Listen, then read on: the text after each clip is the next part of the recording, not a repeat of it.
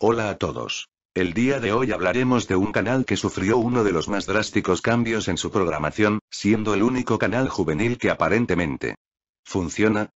Comencemos esto.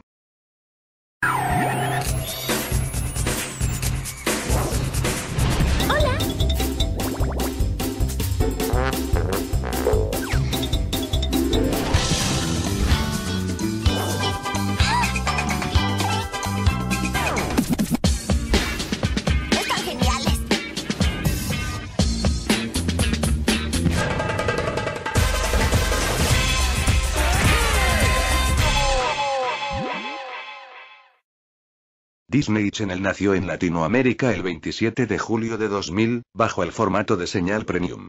Categoría que permanecería para el canal hasta 2004. Entre los programas emitidos en esta era se encuentran Recreo, DuckTales, Las aventuras de Timón y Pumba, La bruja desastrosa, Aprendiendo a vivir, entre otros.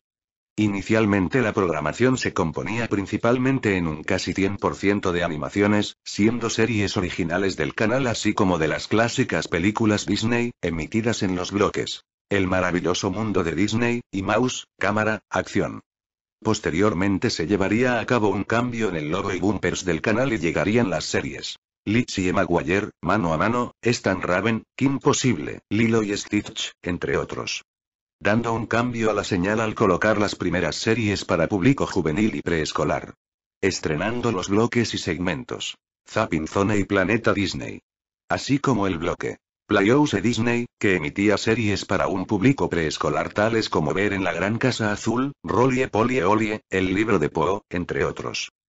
Conforme fue pasando el tiempo el canal cada vez más centrado en series live actions, estrenando las series Zack y Cody Gemelos en acción, Ana Montana, Los hechiceros de Waverly Place, Zoom entre estrellas, Maggie una mosca con onda, y otras. Así como la producción de las primeras películas originales del canal tales como High School Musical, quedaba algo en claro. El canal se enfocaría en el público juvenil tal cual como lo hacían sus competencias. Boomerang y Nickelodeon.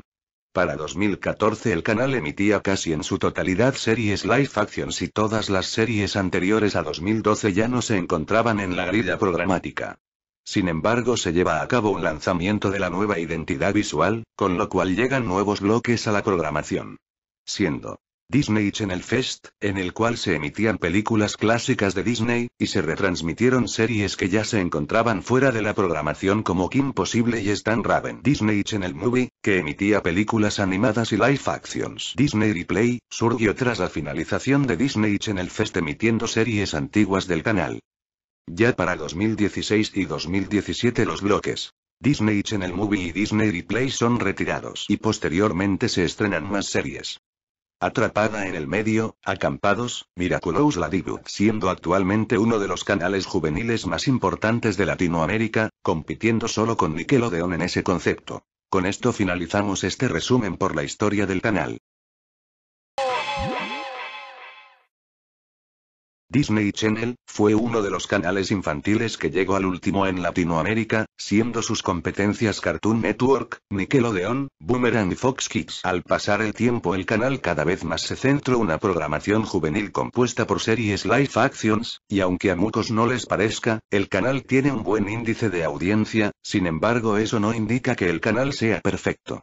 Disney está pasando actualmente por una disminución en sus índices de audiencia, así como en una repetición en cuanto a las tramas de sus series, en cuanto a mi punto de vista creo que el canal se ha centrado más en ser un canal de telenovelas y música que uno infantil o siquiera para ser considerado familiar.